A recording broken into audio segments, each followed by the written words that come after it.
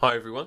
So today I'm going to be doing a quick lesson on Billie Jean from the Rockschool Grade 1 syllabus, originally by Michael Jackson of course. I wanted to do a lesson on this piece because there's one section in the middle, section C, that a lot of people struggle with when they get to. There's a, a difficult thing to play open and closed hi-hats, which takes a bit of work to get right. So I'm going to do a quick lesson all about that subject today. So first of all, I'm just going to play this section to you so you can hear what it sounds like. Should go something like this.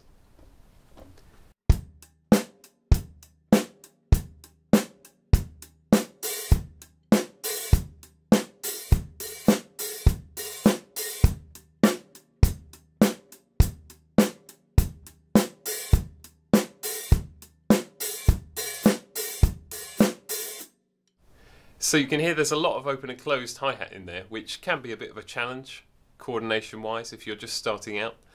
So the purpose of this lesson is just to go through this bit and try and show you some ways that you can break this down, make it a bit easier, start slower and hopefully put it all together.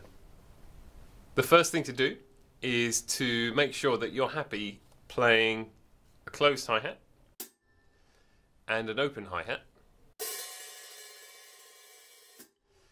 and get used to changing between the two. So, I'm going to play closed hi-hat, open hi-hat, closed hi-hat, alternating like that, very slowly. It sounds like this.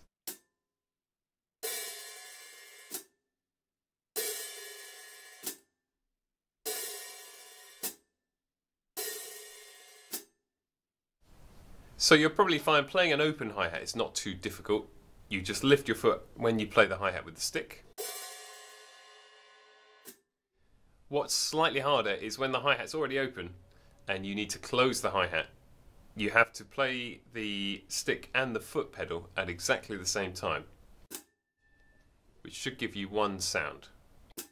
What can happen here is two separate sounds. If your foot is slightly before the stick, you'll get two distinct sounds which you don't want. You want them to be the same, exactly the same time.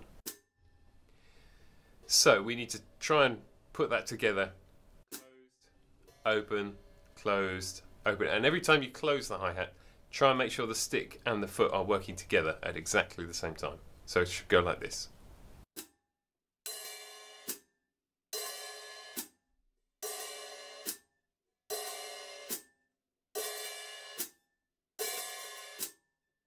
Going over to section C in the book, you notice section C is made up of four bars. They're all slightly different. Now the first bar is nice and simple because that is just playing the, the groove on with a closed hi-hat throughout. That sounds like this. Bar 18, which is the second bar in this section, has one open hi-hat.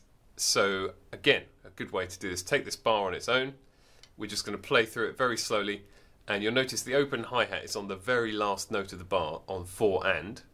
So when we get there we can try and get that open hi-hat in and then repeat the bar round and round. So it will sound like this.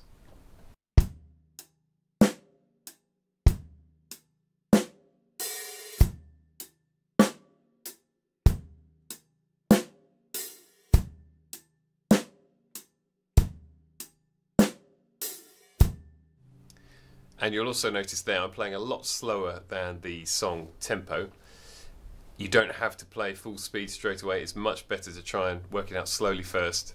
Practice it slowly, try and build your speed as you go through, and then eventually you'll find you can play it at the speed of the song. So the next bar to look at is bar 19. It has two open hi-hats in.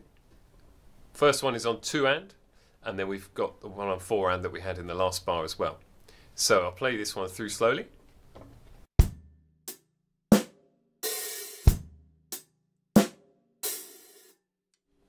And again, as we did with the previous bar, play it through a few times, just that bar on repeat, get used to how that feels.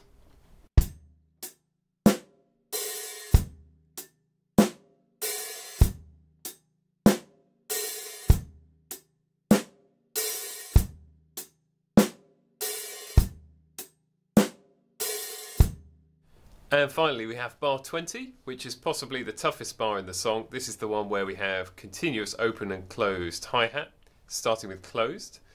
So I'll do this very slowly.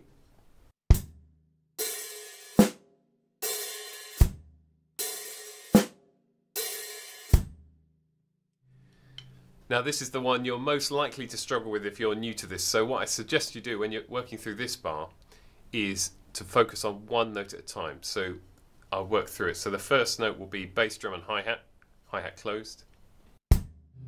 Then your second note will be an open hi-hat. Third note will be hi-hat and snare. Open.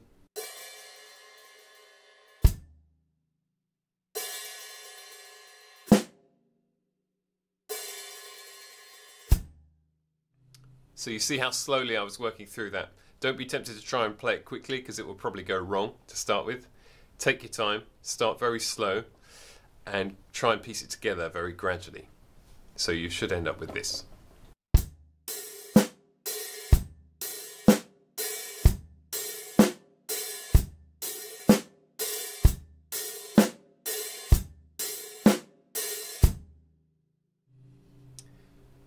And that is the toughest bar in the section.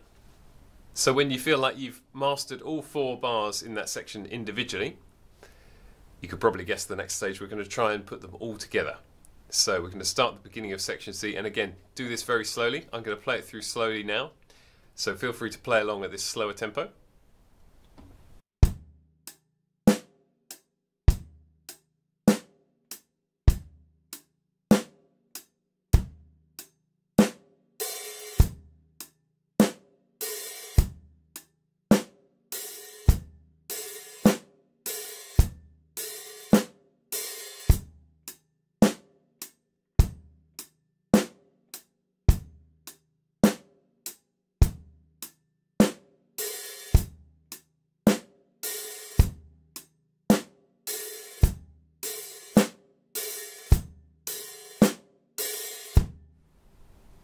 And once you're comfortable playing through slowly, obviously the next stage is to try and gradually increase the tempo until we get to the tempo of the song, which in this case is 117 beats per minute. So I'm now going to play this section up to tempo so you can hear what it sounds like with the backing track. I do have the whole track recorded in the resources section on my website, so if you want to hear the whole thing played through, have a listen to it there. For now, I'm just going to play section C.